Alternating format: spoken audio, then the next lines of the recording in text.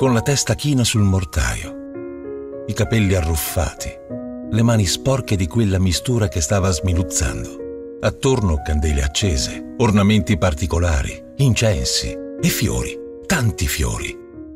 Fu così che la vidi quella volta, gli occhi stanchi di chi non dorme da molto.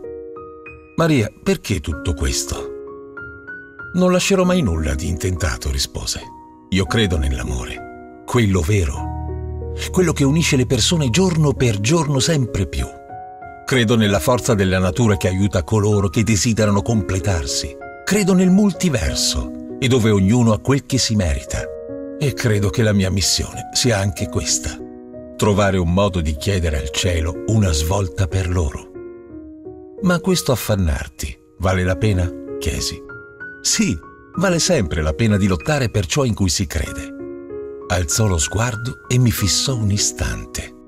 C'è qualcosa che posso fare per te? mi disse. Scossi la testa Avrei voluto chiederle mille cose, ma dalle labbra mi uscì solo nulla. Volevo solo sapere come stavi. Sto come vedi, rispose. Non lo so, credo avesse una dannata voglia di piangere. Ci fu un istante di silenzio e poi... Maria, tu fai tutto quello che puoi per le persone che incontri, ma chi c'è che si preoccupa per te? Alzò nuovamente lo sguardo, ma stavolta una lacrima le tradì il sorriso. Disse solo, Gio, credo che sia meglio che tu vada.